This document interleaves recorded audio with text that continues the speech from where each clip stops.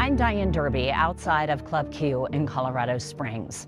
For many in our community, this was a second home, a place of refuge where they felt loved, accepted, and safe until one year ago tonight when a gunman walked in and opened fire. Five people died, dozens were hurt, and that sense of safety was shattered. The families of the five people killed are left trying to find a way to cope with unspeakable grief. I sat down with some of them to talk about how they found a way forward and what they hope you'll remember most about their loved ones. We just can't forget them. Do you worry that will happen? I do. That's why the families of the five people killed at Club Q continue to tell their stories, to honor their lives, to share the memories of their loved ones, especially the happy ones. Adriana Vance says her son Raymond loved to dance. Yeah, he was funny. He was a dancer. He used to keep me up on all the latest moves. His grandmother Esthela would join right in. He danced with me in Cancun. We went to Cancun and we were dancing. Raymond loved his family, his dog, his girlfriend, and God. Raymond got saved. Um, he finally accepted my request to go to church after nagging and nagging him to come with me to just check it out. Just a few weeks later, he was killed. I was afraid to take my younger son with me to church because I thought, man, if he gets saved, maybe he might take him too. So I stopped going. But then I started having talks with my husband, and he was just telling me that despite what happened, you still have to keep the faith. And you just have to continue to go because that's what's going to help you get through this. Vance saw her son just before he headed out that night with his girlfriend, Kassy Fierro, and her family.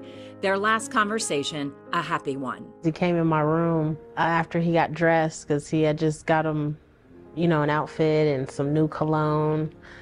And he had his hair done and he came in the room and he said, um, How do I look, Mom? How do I look? And I said, You look good. I said, You look good. I said, You smell even better. This cell phone video taken right before Raymond was killed.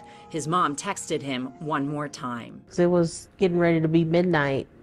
So I was trying to find out what he was going to do, if he was coming home or uh, what his plans were. And he was going to stay at Kassy's house and said that he would be home in the morning uh, to get his dog and to get ready to go to work. So I just told him, okay, I love you. And he said, I love you too. Seven minutes later, he was gone. The man they called the Gentle Giant, taken from them in an instant. Club Q to him was his home. Julia Kissling says her brother and best friend, Derrick Rump, loved his family of friends at Club Q. As a longtime bartender there, he often became a support system for his customers and coworkers. Praying for people was one of his things to do, mm-hmm. especially when people were down or about. He would love to go to their house and bless their house and say prayers. Um, oh, he loved it. He found so much joy in that. This ends the and concludes the tour of beautiful Colorado Springs by yours truly, Derrick Love. She says Derrick made roots in Colorado and loved exploring the mountains. About a year before wow. this happened, and uh, he was just in his glory world. My mom finally got on a plane for the very first time in her life, and she was so terrified to go. And he was so happy that she did it. Um, and he was so excited to just take her on a tour of Colorado. so pretty. And yeah, they shared so many beautiful moments together. It was it was extremely beautiful. Treasured memories their family holds on to in their pain of losing Derrick. Yeah, I would never have thought in a million years that this would be us and that it would have been my brother. Jeff and Sabrina Aston's son Daniel was the first person in the club killed. It was the second time their family has been impacted by a deadly shooting. In 2013, their grandson was in Arapahoe High School in Centennial when a killer came in shooting too.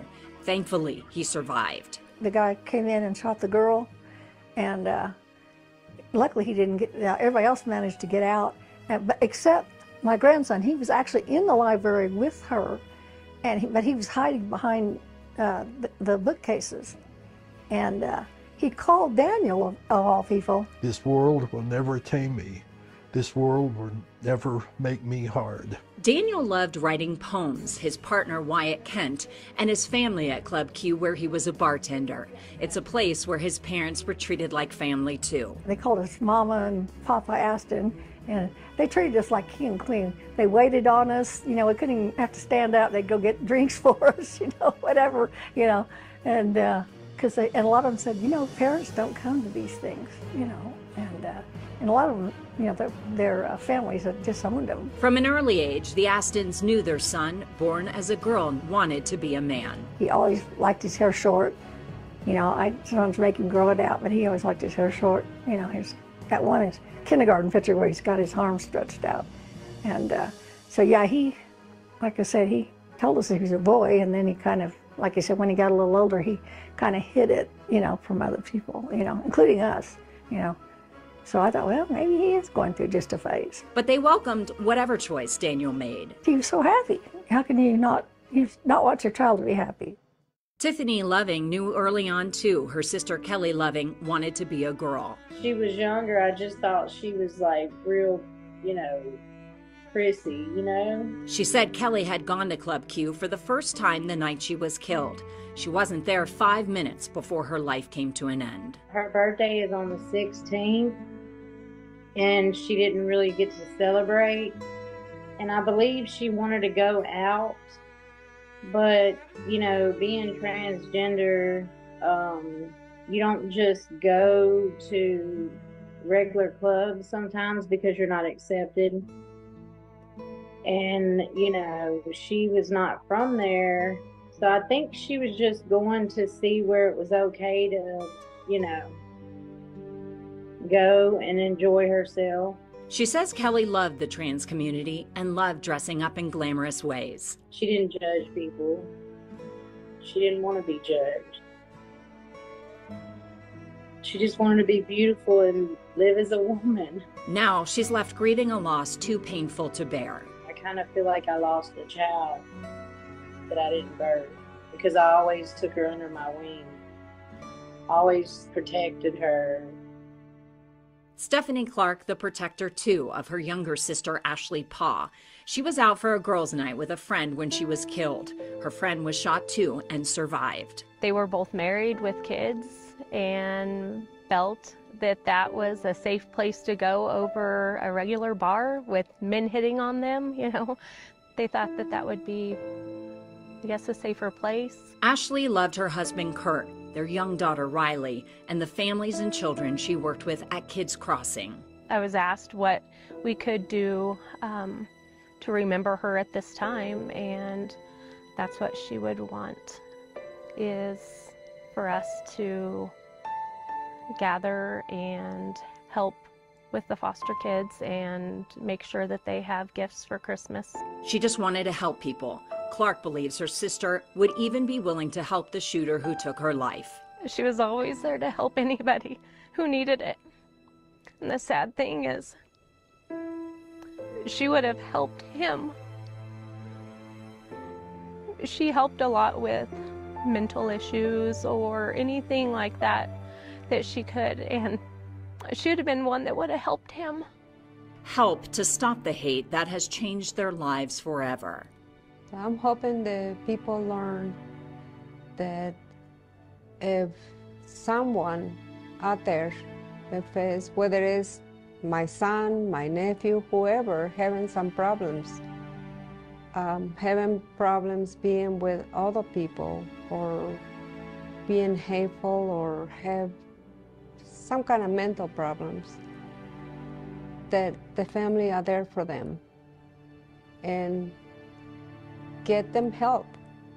Get them help before they do something to hurt people. You know, we can need to get rid of this hate. We need to, you know, tone it down. You know, uh, our divisions with each other. Uh, try to learn to, you know, get along. Stop being so hateful. Accept people for who they are. They're not bothering anyone. Be kind. Be humble. She would want just people to love each other. Yeah. It's so simple, right? But mm-hmm. so we make it hard.